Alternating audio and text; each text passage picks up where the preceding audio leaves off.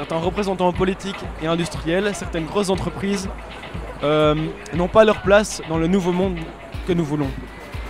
Elles sont dans un modèle industriel et économique qui n'est pas compatible avec la préservation de la vie sur Terre, puisque leur but principal est de faire du profit et, de, et ne- et pas, de, pas de préserver les conditions de vie sur Terre ou bien les conditions de dignité humaine. Donc ce sont deux choses complètement antagonistes, faire plus de profit, faire plus de croissance et en même temps protéger la planète. C'est pas compatible et donc on pourra pas faire ce changement avec tout le monde. Donc nous, euh, on prône euh, des actions un peu plus radicales de désobéissance civile, par exemple comme sécher les cours.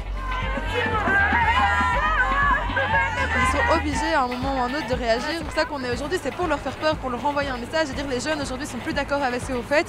On les traite un peu de vieux dépassés et c'est le message aussi, c'est nous on veut une politique qui soit beaucoup plus ambitieuse, qui soit beaucoup plus respectueuse euh, de la terre sur laquelle on habite. Donc à un moment ils vont être forcés de changer et, que ce soit radicalement ou pas, ils vont être forcés de prendre d'autres mesures, forcés de faire passer d'autres programmes que juste euh, on va installer quelques pistes cyclables et ce sera suffisant.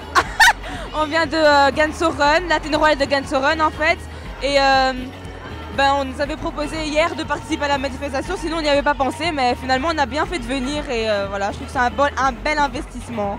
pour essayer de changer les choses. euh, et c'est la première fois qu'on voit euh, quelque chose, une manifestation pour le climat comme ça euh, à Bruxelles, organisée par, par les jeunes. On vient tous les deux de Namur et on est là bah, pour euh, principalement ramasser des déchets.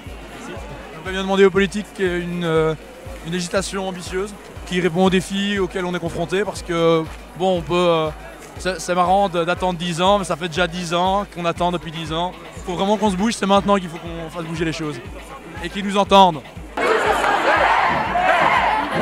Et euh, ça va au- autant pour les autant pour les gros lobbies, les industries, autant pour des autant je sais pas, peut-être une taxe carbone, quelque chose comme ça, qui, qui nous fasse un peu aussi prendre conscience de ce qu'on fait. Ben, je pense déjà que c'est important de manifester. Si on ne le fait pas nous, déjà les jeunes, parce que c'est nous qui allons garantir l'avenir de ce pays. Je pense que c'est important. Euh, c'est primordial même. Uh, naar de regering, want ja.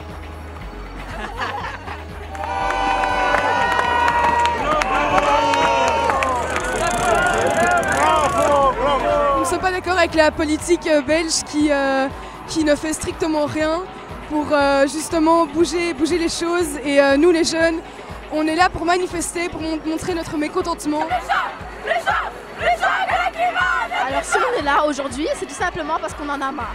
On en a marre qu'on voit notre planète se détruire et que c'est à cause de nous. Alors on doit agir et on doit faire quelque chose pour ça.